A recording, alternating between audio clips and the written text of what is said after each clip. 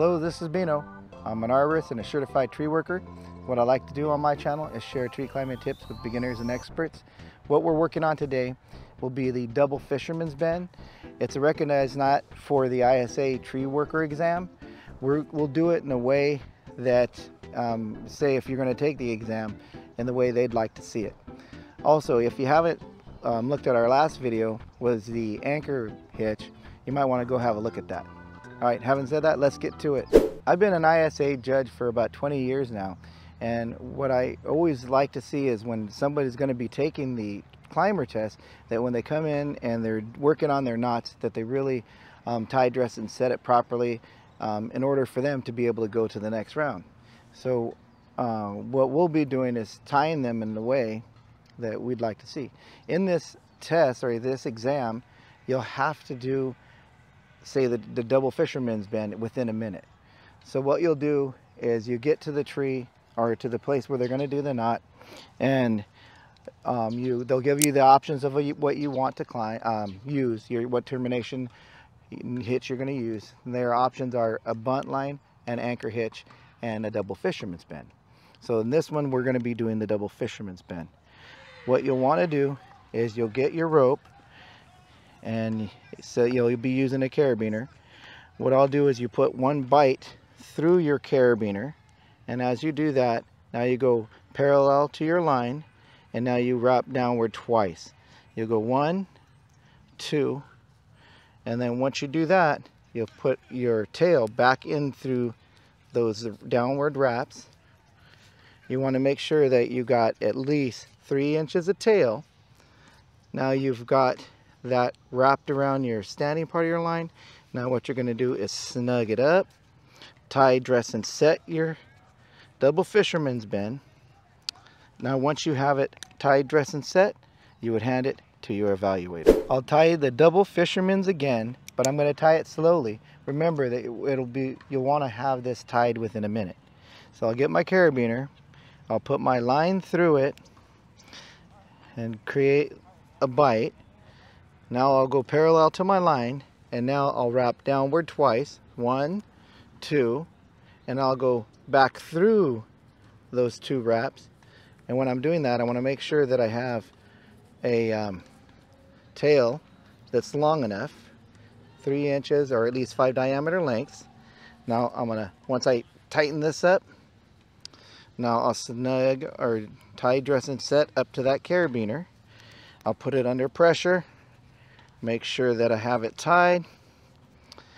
You'll know it's correct when this other tail is parallel to your standing part of the line.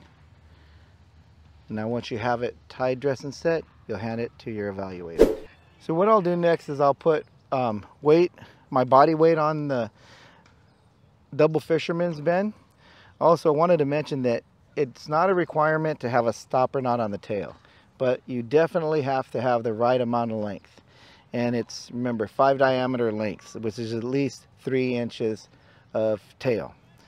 So what I'll do now is I'll put my climbing system on my belt and I'll put it under a load of my body weight. You can see how it so now I put it under the load.